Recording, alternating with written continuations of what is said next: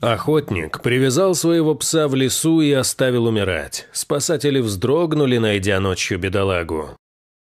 В январе прошлого года греческим спасателям животных сообщили о беспрецедентном случае. По словам доброхотов, какой-то мерзавец отвез своего старого пса в близлежащий лес. Из-за холодов ждать было нельзя, поэтому волонтеры немедленно выдвинулись к животному. Была глухая ночь, больше часа люди в непроглядной тьме добирались до склона горы неподалеку, где, по слухам, находилась собака. Оказалось, что ехали они не зря. В лесу под горой Митос спасатели нашли крепко привязанного к дереву пса. Позднее оказалось, что пса звали Тоби. Он был породы бургосская легавая или испанским пойнтером. Тоби верно служил своему хозяину, пока не состарился. Когда человек понял, что животное начинает сдавать, то хладнокровно решил избавиться от бедолаги. Без вмешательства спасателей на зимнем холоде несчастный долго бы не протянул. Волонтеры дали животному новое имя, назвав его Тул, что в переводе с английского означает «инструмент».